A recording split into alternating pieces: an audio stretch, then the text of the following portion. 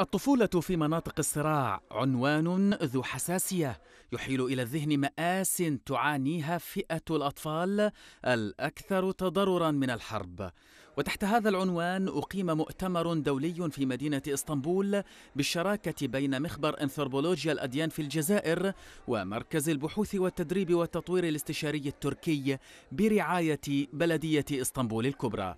يأتي مؤتمر الطفولة في مناطق الصراع آه، من أجل مناقشة قضية مهمة جدا وهي العنف الذي يتعرض له الطفل آه، في مناطق الصراع. نعرف أن منطقة الشرق الأوسط مؤخرا تعاني من ويلات كثيرة وأهم شريحة يعني تعرضت لهذا المشكل هي الأطفال. خبراء وباحثون من الوطن العربي ومن دول العالم اجتمعوا في هذا المؤتمر لتقديم أوراق مشاريع لإيجاد حلول لمعاناة أطفال الحروب سواء في بلدهم الأصلي أو في البلدان التي لجأوا إليها.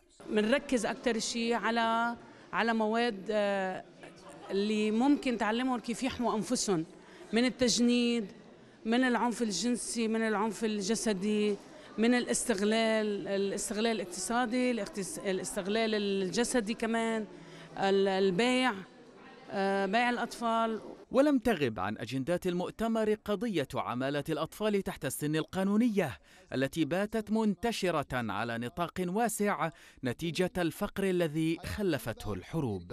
إن عمالة الأطفال أيضا واستغلالهم في هذه الظروف لا سيما في المجتمعات التي يعني تسودها الصراعات تكثر فيها هذه الأشكال من الاستغلال آه، الأخطار التي يتعرض لها الأطفال.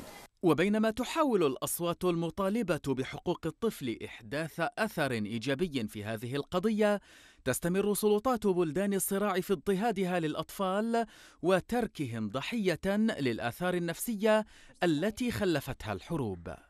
هل هناك دراسات في العراق رفعت هذه المعاناة عن المرأة وهيئتها كمربية للطفل؟ من خلال اطلاعي اللي محدود آه، لن أرى هذا النوع من الدراسات ولا أرى هذا النوع من التنمية. ويبقى الأطفال يستصرخون الضمائر الحية لعلها تنقذ براعم الطفولة من لهيب حروب لا شأن لهم بها ورغم ذلك صاروا أكبر ضحاياها.